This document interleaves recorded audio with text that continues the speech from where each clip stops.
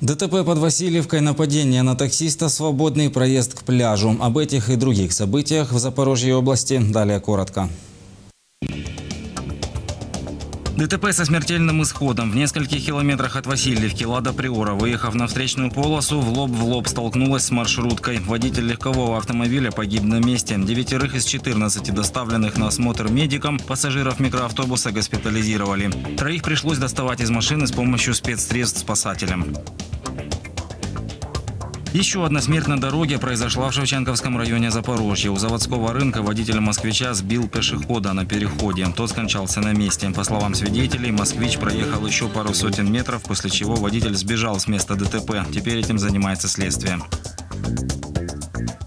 Драка на улице Глазунова. Владелец кафе сообщил патрульным о том, что пьяный неизвестный сломал ограждение. Одна из посетительниц, находившаяся там с ребенком, пожаловалась, что хулиган угрожал ей и бросался с кулаками. Полицейские вскоре нашли подозреваемого, пострадавшие его опознали. При этом тот вел себя агрессивно, ругался, так что вынужден был отправиться в наручниках в отделение.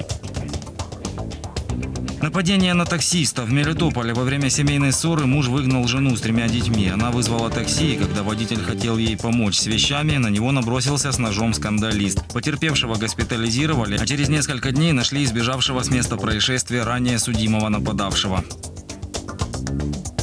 Неадекватный джентльмен. На улицу Лермонтова на вызов о том, что во дворе кричит женщина, прибыли патрульные. Выяснилось, что ее вызвался проводить домой незнакомец, возжелавший в итоге большего. Получив отказ, он набросился на нее с кулаками. Женщину доставили в больницу. Полицейским не понадобилось много времени, чтобы найти и задержать 36-летнего злоумышленника со следами крови на руках. В его сумке нашли телескопическую палку.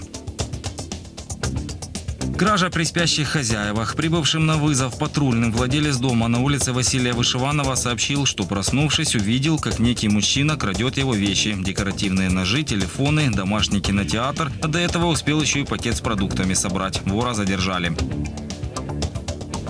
Плата за проезд. Ее требовали работники частной структуры, с которой Приазовский национальный природный парк заключил договор про сотрудничество в поддержании в надлежащем санитарном состоянии территории рекреационной зоны. Вместо этого те установили шлагбаум в пляжной зоне на Федотовой косе у Кирилловки, а с желающих проехать требовали плату. Сотрудники Мелитопольской прокуратуры и Кирилловского отделения полиции самодеятельность прекратили, шлагбаум демонтирован, начато расследование.